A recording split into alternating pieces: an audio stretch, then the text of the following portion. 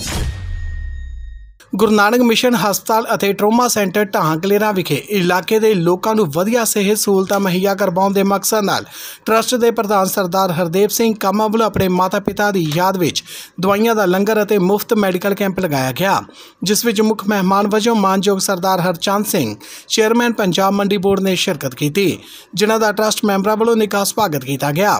ਇਸ ਕੈਂਪ ਦਾ ਉਦਘਾਟਨ ਮੁੱਖ ਮਹਿਮਾਨ ਵਜੋਂ ਪਹੁੰਚੇ ਸਰਦਾਰ ਹਰਚੰਦ ਸਿੰਘ ਨੇ ਆਪਣੇ ਹੱਥੀਂ ਰੀਬਨ ਕੱਟ ਕੇ ਕੀਤਾ। ਕੈਂਪ ਦੌਰਾਨ ਜਿੱਥੇ ਵੱਡੀ ਗਿਣਤੀ ਵਿੱਚ ਪਹੁੰਚੇ ਮਰੀਜ਼ਾਂ ਦੀਆਂ ਮਾਹਿਰ ਡਾਕਟਰਾਂ ਦੀਆਂ ਟੀਮਾਂ ਵੱਲੋਂ ਵੱਖ-ਵੱਖ ਬਿਮਾਰੀਆਂ ਦੀ ਜਾਂਚ ਕੀਤੀ ਗਈ। ਉੱਥੇ ਹੀ ਉਹਨਾਂ ਨੂੰ ਲੋੜ ਅਨੁਸਾਰ ਫ੍ਰੀ ਦਵਾਈਆਂ ਵੀ ਦਿੱਤੀਆਂ ਗਈਆਂ। ਆਪਣੇ ਸੰਬੋਧਨ ਵਿੱਚ ਬੁਲਾਰੇ ਨੇ ਪ੍ਰਬੰਧਕਾਂ ਵੱਲੋਂ ਕੀਤੇ ਇਸ ਉਪਰਾਲੇ ਨੂੰ ਸਰਾਹੁਣਯੋਗ ਦੱਸਿਆ। ਜਦਕਿ ਪ੍ਰਬੰਧਕਾਂ ਨੇ ਇਸ ਕੈਂਪ ਨੂੰ ਸਫਲ ਬਣਾਉਣ ਵਿੱਚ ਸਹਿਯੋਗ ਕਰਨ ਵਾਲੇ ਸਾਰੇ ਹੀ ਪਤਵੰਤਿਆਂ ਦਾ ਧੰਨਵਾਦ ਕੀਤਾ। ਇਸ ਦੌਰਾਨ ਗੱਲਬਾਤ ਕਰਦਿਆਂ ਪੰਜਾਬ ਮੰਡੀ ਬੋਰਡ ਦੇ ਚੇਅਰਮੈਨ ਸਰਦਾਰ ਹਰਚੰਦ ਸਿੰਘ ਨੇ ਕਿਹਾ ਕਿ ਮਰੀਜ਼ਾਂ ਦੀ ਸਹੂਲਤ ਲਈ ਜਿੱਥੇ ਟਰਸਟ ਪਹਿਲਾਂ ਹੀ ਸਮੇਂ-ਸਮੇਂ ਤੇ ਮਦਦ ਕਰਦਾ ਰਹਿੰਦਾ ਹੈ, ਉੱਥੇ ਹੀ ਇਹੋ ਜਿਹੇ ਕੈਂਪ ਲਗਾ ਕੇ ਆਪਣੀ ਇਸ ਸੇਵਾ ਨੂੰ ਹੋਰ ਵੀ ਮਜ਼ਬੂਤ ਕਰ ਰਿਹਾ ਹੈ। ਉਹਨਾਂ ਆਖਿਆ ਕਿ ਪ੍ਰਧਾਨ ਸਰਦਾਰ ਹਰਦੇਵ ਸਿੰਘ ਕਾਮਾ ਵੱਲੋਂ ਜੋ ਆਪਣੇ ਮਾਤਾ-ਪਿਤਾ ਦੀ ਯਾਦ ਵਿੱਚ ਇਹ ਕੈਂਪ ਲਗਾਇਆ ਗਿਆ ਹੈ, ਇਸ ਤੋਂ ਵੱਡਾ ਕੋਈ ਵੀ ਸਮਾਜ ਭਲਾਈ ਦਾ ਕੰਮ ਨਹੀਂ ਹੈ। ਉਹਨਾਂ ਪ੍ਰਬੰਧਕਾਂ ਨੂੰ ਉਹਨਾਂ ਵੱਲੋਂ ਕੀਤੇ ਇਸ ਉਪਰਾਲੇ ਲਈ ਮੁਬਾਰਕਬਾਦ ਵੀ ਦਿੱਤੀ। ਅੱਜ ਇੱਥੇ Guru Nanak Sewa mission charitable trust ਵੱਲੋਂ ਮੈਡੀਕਲ ਕੈਂਪ ਲਗਾਇਆ ਗਿਆ। ਵੈਸੇ ਵੀ ਇਹ ਬਹੁਤ ਵੱਡੇ ਪੱਧਰ ਤੇ ਸੇਵਾ ਕਰ ਰਹੇ ਨੇ ਔਰ ਨਾਲ ਇਹਨਾਂ ਦੇ ਸਕੂਲ, ਹਸਪਤਾਲ ਚੱਲ ਰਿਹਾ ਹੈ। ਚੱਲ ਰਿਹਾ ਔਰ ਸਾ ਹਰਦੀਪ ਸਿੰਘ ਕਾਮਾ ਪ੍ਰਧਾਨ ਸਾਹਿਬ ਤੇ ਨਾਲ ਉਹਨਾਂ ਦੀ ਜਿੰਨੀ ਵੀ ਟੀਮ ਹੈ, ਸਾਰੇ ਬਹੁਤ ਵਧੀਆ ਸੇਵਾ ਕਰ ਰਹੇ ਨੇ। ਮੈਂ ਇਹਨਾਂ ਦਾ ਧੰਨਵਾਦ ਕਰਦਾ।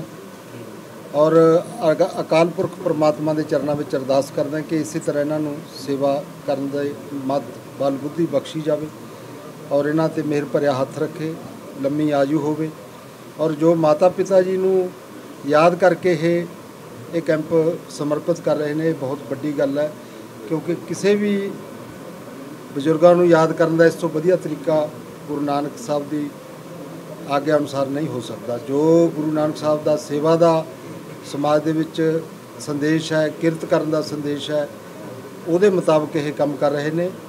ਮੈਂ ਇਹਨਾਂ ਨੂੰ ਇਸ ਗੱਲ ਦੀ ਵਧਾਈ ਵੀ ਦਿੰਦਾ ਔਰ ਅਕਾਲ ਪੁਰਖ ਵਾਹਿਗੁਰੂ ਦੇ ਚਰਨਾਂ ਅੱਗੇ ਅਰਦਾਸ ਕਰਦਾ ਕਿ ਇਸੇ ਤਰ੍ਹਾਂ ਇਹਨਾਂ ਨੂੰ ਪੂਰੀ ਟੀਮ ਨੂੰ ਬਲ ਬੁੱਧੀ ਹਰ ਤਰ੍ਹਾਂ ਦੀ ਤਾਕਤ ਬਖਸ਼ਦੇ ਰਹੋ ਔਰ ਇਹਨਾਂ ਤੇ ਮਿਹਰ ਭਰਿਆ ਹੱਥ ਰੱਖੋ, ਲੰਮੀ ਆਜ਼ੂ ਹੋਵੇ, ਤੰਦਰੁਸਤ ਰਹਿਣ ਤਾਂ ਕਿ ਸਮਾਜ ਨੂੰ ਹੋਰ ਸੇਵਾ ਕਰਨ ਦਾ ਮੌਕਾ ਮਿਲੇ, ਸਮਾਜ ਨੂੰ ਉਸ ਗੱਲ ਦਾ ਲਾਭ ਹੋ ਸਕੇ। ਸਰ ਜੀ ਮੈਡੀਕਲ ਕਾਲਜ ਨਹੀਂ ਇੱਥੇ ਕੋਈ ਵੀ ਇਲਾਕੇ ਦੇ ਵਿੱਚ।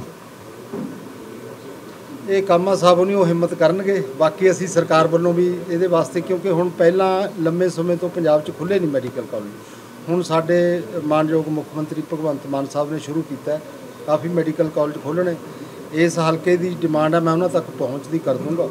ਤੇ ਜ਼ਰੂਰ ਅਸੀਂ ਹਾਂਜੀ? ਸੁਪਨਾ ਹੈ ਸਾਡਾ ਬਿਲਕੁਲ ਖੁੱਲੂਗਾ ਜੀ। ਬਿਲਕੁਲ ਖੁੱਲੂਗਾ ਜਦੋਂ ਤੁਸੀਂ ਸੁਪਨਾ ਲੈ ਰਹੇ ਹੋ ਪੂਰਾ ਹੋਣਾ ਹੀ ਹੋਣਾ। Thank you.